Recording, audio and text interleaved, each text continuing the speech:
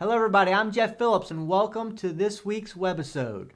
Each week, I like to bring in a different professional to talk about their business and explain a little bit about what it is that they do and give you some tips about their, their profession. And today, I have Mike Kalshed. And Mike, welcome to the show. Thank you very much. Yeah.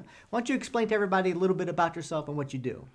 You know, I work with seniors um, to help them understand how to choose the right plan for their health care through Medicare. Um, I've been doing this for 38 years. I'm the owner of the Mooreshed Corporation, and we specialize in helping seniors again understand Medicare. Okay.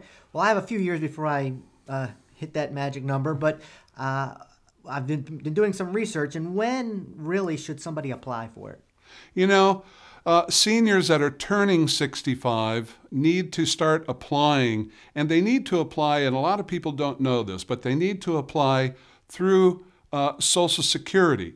You can do that either, Jeff, online, or they can make an appointment with the local Social Security office and be able to go down and start the enrollment process there. Okay, Mike. So, what if, what if uh, they already are 65 and they have not actually applied? Well, this is what happens. When you do turn age 65, um, Medicare, Social Security, will auto automatically enroll you into Part A. That's your hospital portion of coverage through Medicare. Um, you'll receive a red, white, and blue card with your Part A uh, on there, along with the effective date of coverage, which is typically the first of the month of the month you were born in. So, for example, if you're born in October, um, the effective date of coverage would be October the 1st of the year that you're turning 65. You don't have to apply for Part B if you're still employed. If you're actively at work and you have group coverage through your employer, you do not have to apply uh, for the second part of Medicare. So, do I have to apply for Part A and B simultaneously? No, you don't. You can. Many seniors do. Uh, if you are turning age 65 and you want to apply for both parts of Medicare A and B, um, you can do so. The effective date would typically at that point be the same effective date. So let's go back to that October birthday. If I apply for Part A again, my effective date of coverage would be October 1st in the year I turn 65. If I also apply for Part B at that time, my effective date would still, uh, for Part B, would still be October 1st of the year that I turn 65. Just remember, though, that when you do apply for Part B, there will be um, a cost. That cost uh, is established by Medicare. And if you're also collecting Social Security at the age of 65, that cost will typically be withheld from your Social Security income check monthly. If you uh, are employed and still on a group health plan, and you apply, let's say at 67 or 68 for Part B because you've been actively employed and you're still on that employer group plan, then you can go back at the time that you retire. But remember, you want to have plenty of advance notice working with uh, Medicare to start obtaining your Part B so it coordinates on the date that you retire and that your uh, group health plan ends. You want that Part B coverage to uh, become effective at the same time that the group health plan terminates for your coverage. It's very important to do that. So at least 60 days prior, make sure that you have contacted Medicare and started to coordinate that.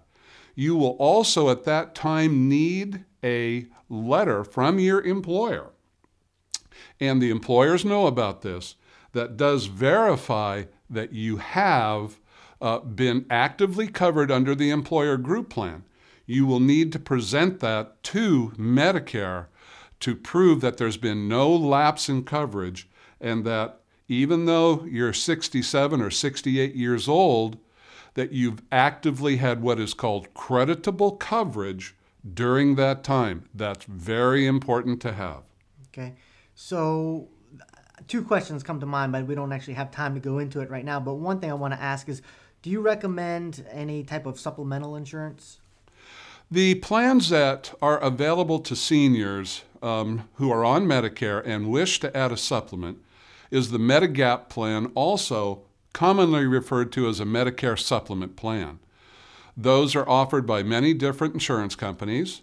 Um, the other plan that is available is the Medicare Advantage plan um, with prescription drug coverage, and those are also offered through insurance companies.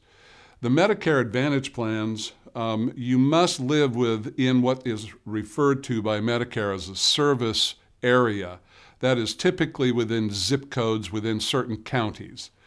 If you live outside that service area, then a supplement plan would more than likely be the best option for you to really consider.